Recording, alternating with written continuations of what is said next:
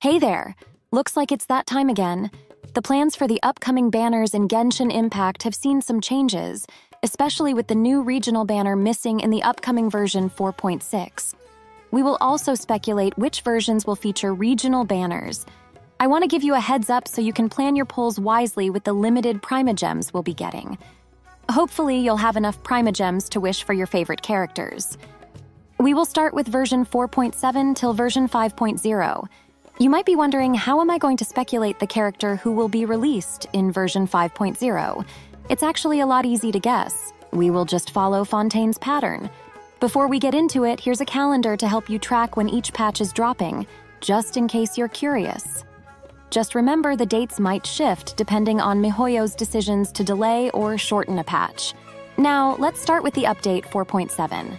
According to Full Stop Chan, a reliable leaker spilled the beans on three new faces in version 4.7 Clorinde, Sigewinne, and Sethos.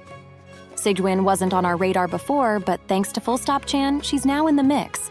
Clorinde is rumored to be a five star Electro Sword character, set to debut as a DPS unit centered on the Overload elemental reaction that mixes pyro and electro elements. Fontaine already has Chevreuse, who uses this reaction too. It was said that Chevreuse will be the best support for Clorinde if she's an overload damage dealer. Some other folks think Clorinde will be like Raiden Shogun, an Electro DPS unit.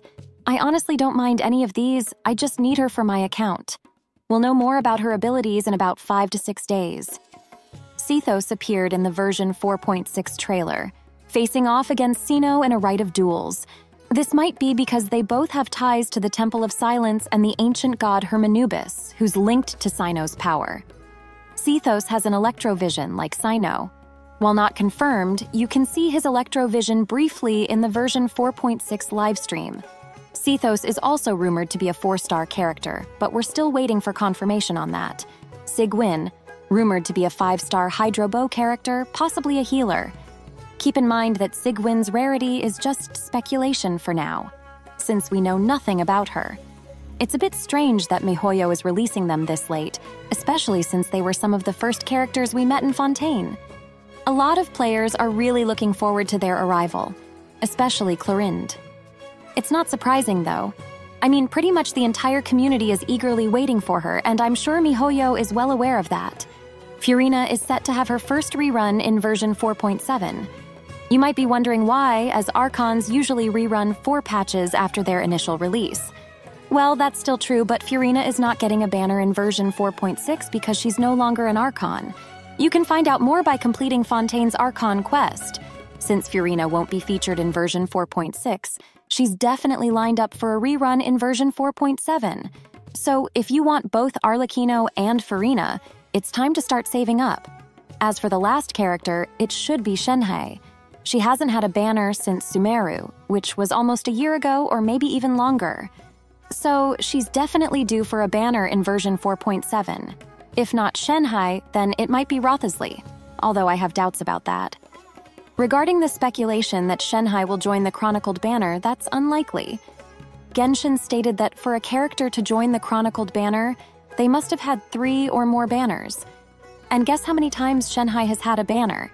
Just twice. So no, she won't be joining the Chronicled banner.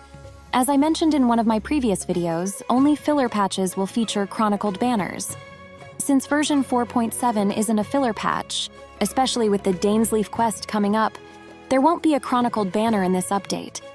I made a similar prediction for version 4.6, and it seems to be holding true. Chronicled banners are typically reserved for filler patches. In the final patch of the Fontaine region, version 4.8, we can expect the long-awaited rerun of Alhaitham, the DPS character. He hasn't had a banner since Sumeru in version 3.7, so it's about time for his return. Alongside Alhaitham, we'll also see the rerun of Nilou. The same logic applies to her as well, as she last had a banner in the Sumeru patches, so Nilou and Alhaitham will both get their banners in this version. Additionally, Navia will receive her first rerun in version 4.8. The reason is straightforward. MiHoYo usually reruns characters before their region patches come to an end. Since Navia was released in Fontaine, she'll rerun before Fontaine's patches conclude. And guess which version is the last one for Fontaine patches? Version 4.8. So, yes, she will indeed rerun in this version. The last character in version 4.8 will likely be Wriothesley. He was released way back in version 4.1 and hasn't had a rerun yet. Interestingly, the character who debuted alongside him in the same version already got their first rerun. As I mentioned earlier, MiHoYo tends to rerun new characters before their region's patches conclude, so it's highly probable that Wriothesley will finally get his rerun in this version. Since version 4.8 is considered a filler patch, we can expect the return of Chronicled Banners. As I mentioned earlier, MiHoYo tends to introduce Chronicled Banners exclusively in filler updates. However, the real question is which Chronicled Banner will be featured this time. The answer seems straightforward. We'll likely see Liyue's Chronicled Banner. Lately, there hasn't been much focus on Liyue characters. And considering that most Liyue characters have had more than three banners, it's plausible that Liyue's regional banner will make an appearance. Characters like Ganyu and Hu Tao are still missing from recent banners. Ganyu, in particular, hasn't had a banner in quite some time, even though we received her skin.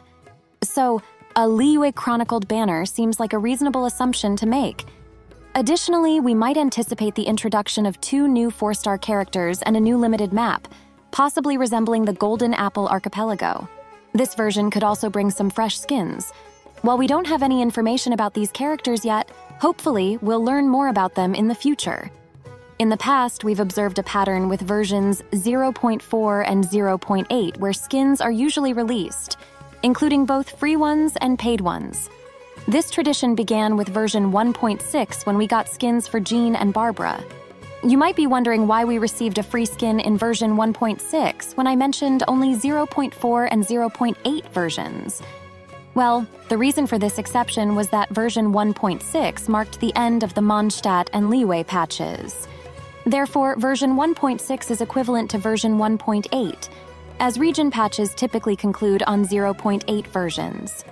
Following this pattern, in version 2.4, we got skins for Keqing and Ningguang, in 2.8 for Diluc and Fischl, in 3.4 for Ayaka and Lisa, in 3.8 for Kaeya and Klee, and most recently in 4.4, we received skins for Ganyu, Shenhe, and Xingqiu.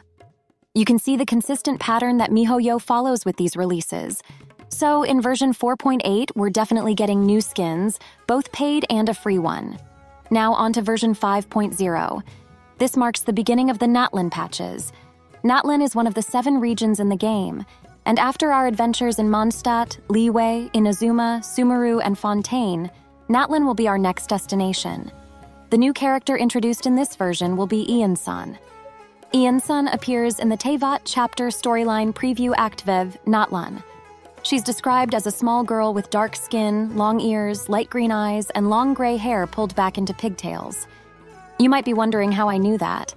Well, I'm just following the pattern from Fontaine. Lyney was first teased in the same video as Iansan, and he was the first character to get a banner in the Fontaine patches. The same logic applies to Iansan. She will be the first character to rerun in this version.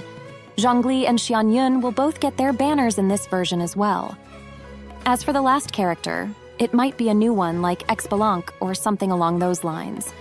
However, there won't be a chronicled banner in this version because, well, it's not a filler update.